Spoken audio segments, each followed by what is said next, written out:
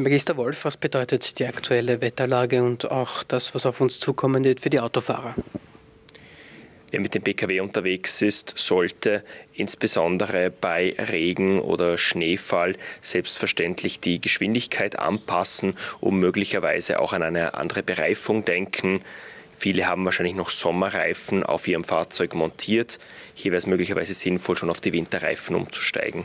Sie haben es schon angesprochen, die Winterreifenpflicht ist erst ab dem 1. November offiziell, sprich äh, tritt dann erst in einigen Wochen in Kraft offiziell. Aber ab wann wäre es denn sinnvoll in welchen Situationen die Winterreifen schon anzustecken?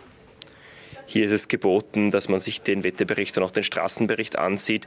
Ist auf der Strecke, die man fahren möchte, mit äh, Regen oder gar Schneefall zu rechnen, so empfiehlt es sich auf jeden Fall, Winterreifen zu montieren. Oder wenn man keine Winterreifen zur Hand hat, kann man auch Schneeketten einpacken. Diese kann man dann im Bedarfsfall, also wenn es eine Schneefahrbahn gibt, montieren.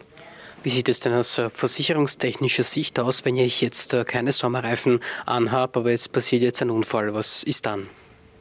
Man muss zwar mit keiner Strafe rechnen, wenn man bei einer Schneefahrbahn in der Zeit vor der Winterreifenpflicht mit Sommerreifen unterwegs ist.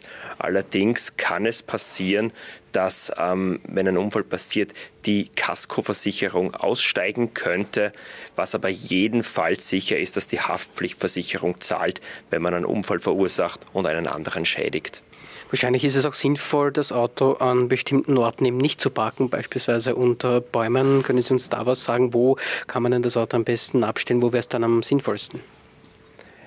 Insbesondere wer unter Bäumen parkt, läuft natürlich Gefahr, dass hier ein Geäst abbricht und das Fahrzeug beschädigt. Es ist einfach geboten, hier die Situation, je nachdem, äh, wie sie sich gerade darstellt, zu beurteilen. Jetzt ist es natürlich so, dass äh, bei den aktuellen Wetterbedingungen auch uns die, die auf uns zukommen, die Unfallwahrscheinlichkeit steigt. Liegen da aktuell auch äh, Zahlen vor, um wie viel Prozent die Unfälle tatsächlich auch ansteigen? Wenn es stark regnet oder gar schneit und das auch noch plötzlich passiert, steigt die Unfallgefahr natürlich extrem an. Hier ist es geboten, die Geschwindigkeit zu reduzieren und anzupassen an die Fahrbahn- und Sichtverhältnisse, möglicherweise die Bereifung auch anzupassen und keine abrupten Brems- oder Auslenkmanöver zu machen.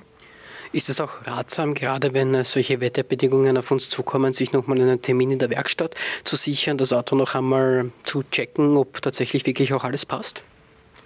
Wir vernehmen gerade, dass bei den Werkstätten die Termine zum Winterreifenwechsel schon ziemlich gut gebucht sind. Also hier empfiehlt es sich so schnell wie möglich einen Termin zu machen. Wir raten nämlich davon ab, die Winterreifen selbst zu montieren und lieber eine Fachwerkstätte aufzusuchen. Alles klar, danke sehr. Danke.